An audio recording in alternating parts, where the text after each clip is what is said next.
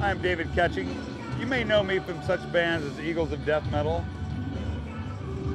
and Rancho de la Luna. And I'm here to tell you about my grievances about Orange discontinuing the almighty Tiny Terror. It's not even there right now.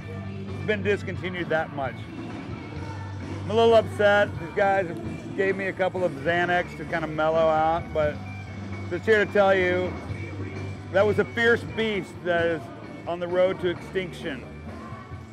I'm thinking that you should probably go out and buy whatever ones you can find because they're going to become instant collectibles.